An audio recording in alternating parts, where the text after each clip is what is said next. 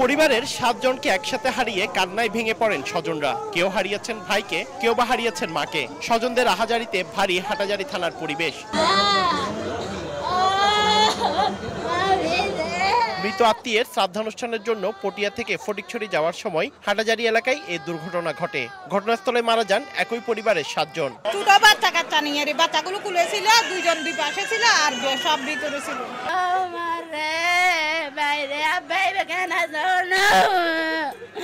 ও মারে প্রত্যক্ষদর্শীরা জানান, মঙ্গলবার দুপুরে ফটিকছড়ি থেকে ছেড়ে আসা পদক্ষেপ পরিবহনের বাস চট্টগ্রাম শহরে যাচ্ছিল। পথে হাটাজারির চারিয়া এলাকায় পৌঁছালে বিপরীত দিক থেকে আসে একটি সিএনজি অটোরিকশার সঙ্গে সংঘর্ষ হয়। এ সময় সিএনজি অটোরিকশাটি সড়ক থেকে ছিটকে দুমড়ে মুচড়ে যায়। সড়কে আসতে পড়েন সিএনজি অটোরিকশার যাত্রীরা। ঘটনাস্থলে মা রীতা দাস, তার চার শিশু সন্তান মারা যায়। এছাড়া রীতা দাসের ননদ চিনু ও ভাইয়ের ছেলে বিপ্লবেরও ঘটনাস্থলে মৃত্যু হয়।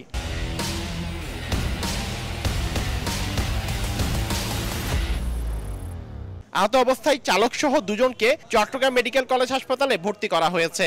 কারকে ওভারটেকিং করে সিএনজিতে যাওয়ার মুহূর্তে অপোজিট থেকে যেটা বাস ছেড়ে আসতেছিল ওইটার সাথে একেবারে দুমড়ে মুচড়ে চাকার একেবারে তলে দিয়ে সিএনজিটা বেরিয়ে গেছে।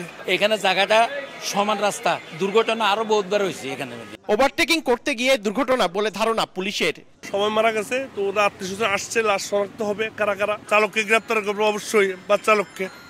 আমরা আপাতত এই প্রাথমিক কার্যক্রমটা শেষ করে আমরা চূড়ান্ত ব্যবস্থা নিচ্ছি ব্যবস্থা।